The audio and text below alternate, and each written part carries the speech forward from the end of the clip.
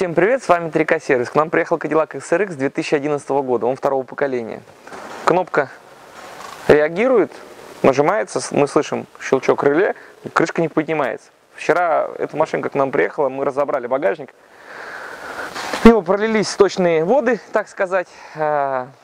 Дренажные трубки забились грязью, и вода пошла верхом залила багажник, традиционно заливает этот багажник. Но инженеры разработали так блок управления багажником, что его постоянно топит из-за этого.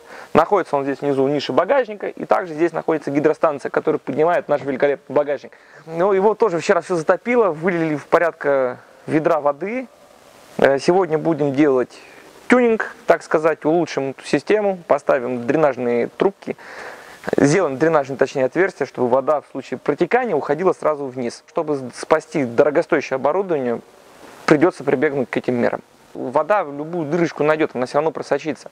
Забивается просто дренажные отверстия. Их нужно периодически чистить. А, данному владельцу повезло автомобиля, у него гидростанция осталась жива. Вчера просушили ее 4,5 часа, подключили тестер. Тестер показал, что насос гидростанции жив. Насос дорогостоящий, стоит в районе 30 тысяч рублей.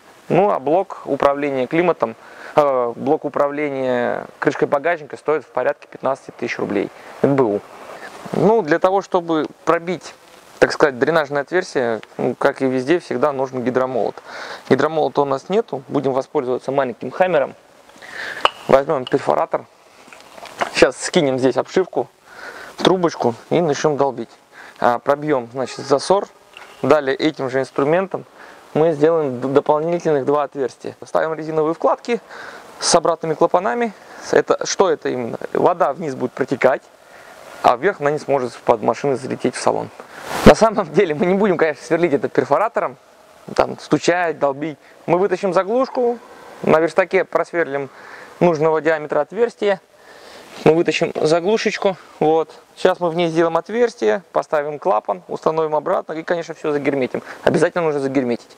Сделали мы нашу заглушку, ну, так сказать, сливную пробку. Сейчас мы ее установим в ее штатное место. Обработаем все жидким майвилем и герметиком. Она не пропускала нигде. Все, Надеюсь, что вода в этом багажнике владельца больше не побеспокоит.